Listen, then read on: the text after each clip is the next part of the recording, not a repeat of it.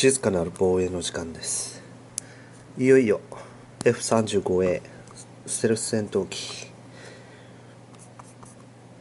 訓練開始。が青森県の方に通達行きました。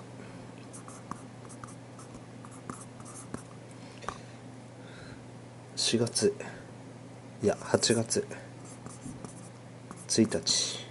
今日ですね。今日もう2機ほど。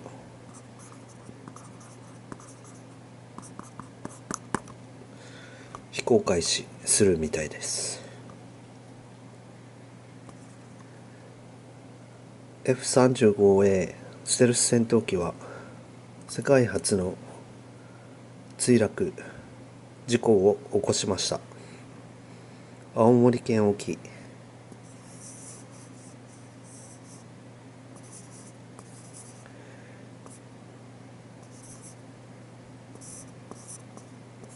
135キロ地点。に墜落。パイロット1名。機体。1機。行方不明のまま。捜索が開始されました。パイロットと機体の一部が発見され今では打ち切り。されています。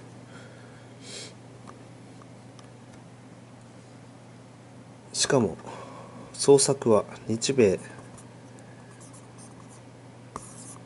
異例の捜索です。原因は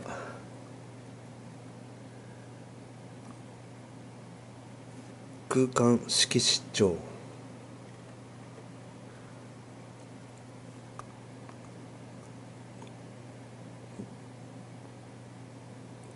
少し言えば自分の場所が分からなくなる。上か下か。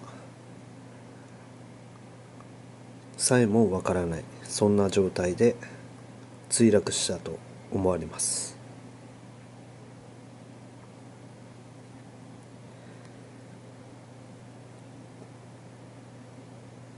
で F35A の優れたところはデータリンク。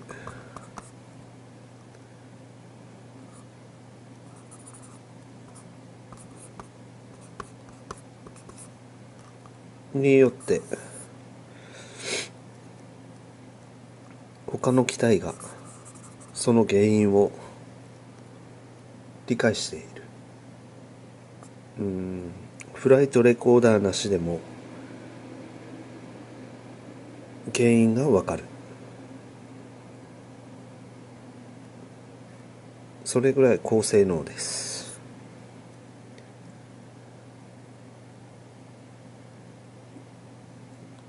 空間識失調はこれは誰誰でもなる。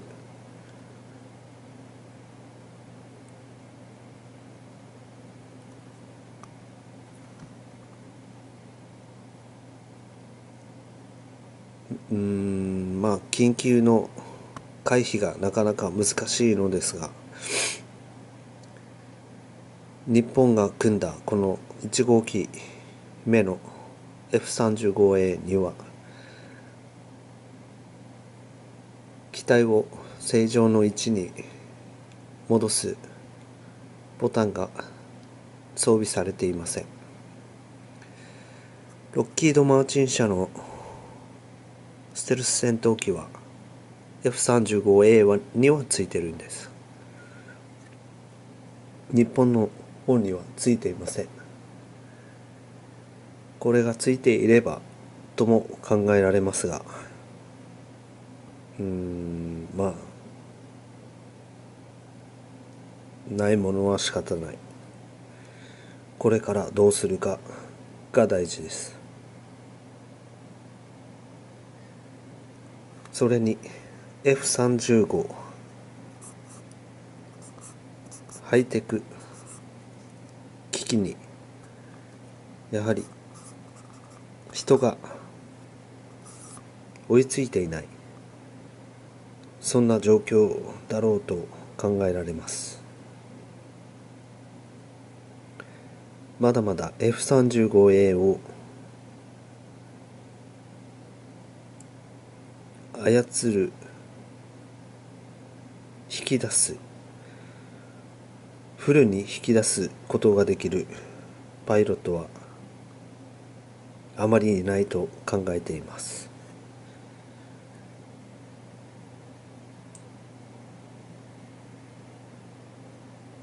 ロッキード・マーチン社が自動地表面衝突回避装置を急ぐ。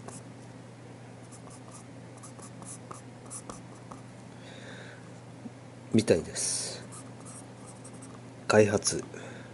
しかし開発には7年かかるとも言われやはりここは時間がかかるところです。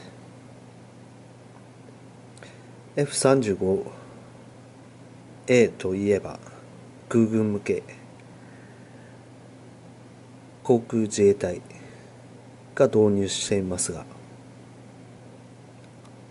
やっぱり性能をフルに引き出せるまだ訓練が足りない状況でもあります。日々日本周辺では脅威が増しています。中国ロシア北朝鮮それに韓国。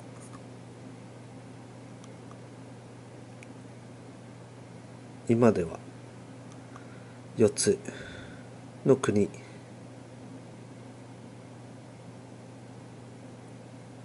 の脅威から守る必要があります。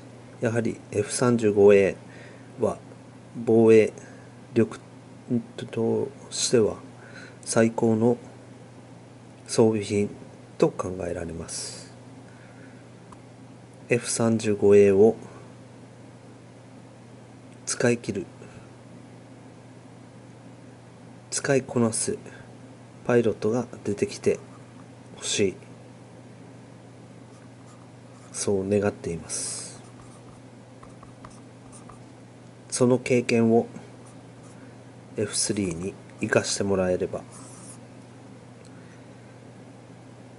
F3 計画への道もまた開けると思われる。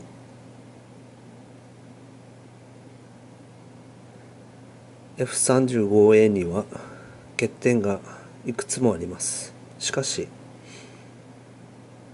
アップデートで改善できるものも多くあります。まだまだ F35A が第5世代の最先端と考えるのは当然のことでしょう。第6世代に近づく戦闘機だと。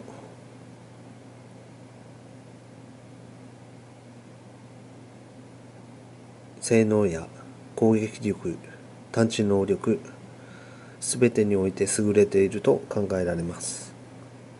今日のご視聴ありがとうございました。